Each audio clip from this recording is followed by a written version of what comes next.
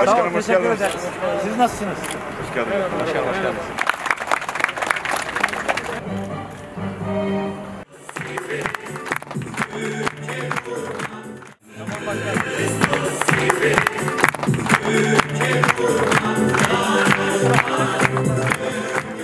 Osman Başkanıma tarıma verdiği destekler için çok teşekkür ederim.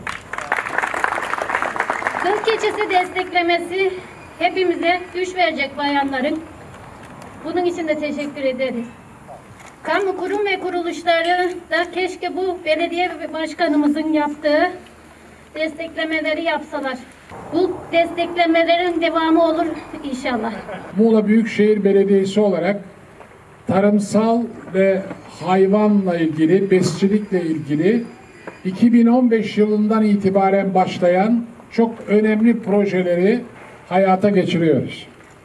Özellikle keçi yüzde 68'i orman olan Muğla'da ve ormanın hemen kıyısında kurulan orman köylerimizde gerçekten çok önemli ekonomik bir besi kaynağı. Çünkü keçi kendi besinini ormandan, tabiattan kendisi alıyor. Hepinizin bildiği gibi keçi sütünün fiyatı daha yüksek, keçi peynirinin fiyatı daha yüksek. Dolayısıyla bir aileye ekonomik olarak emeğinin karşılığını en iyi veren ürünlerden birisi de keçi yapımıza uygun en iyi besiciliği küçükbaş hayvandan ve özellikle keçiden yaparız. Keçiyi seçmemizin nedeni o. E, Dolayısıyla etiyle, sütüyle ve süt mamulleriyle ailenin ekonomisine çok önemli katkılar yapacak. Kadınlarımıza güvenip her konuda kadınlarımızı ya ortak yapacağız veya öne çıkarıp onlara vereceğiz. Büyük bir yol göstericimiz olarak Atatürk kadınlarla ilgili de tespitini yapmış ve bize bir öğütte bulunuyor. Kadınları mutlak içine sokun. Kadınlarla beraber yürüyün diye.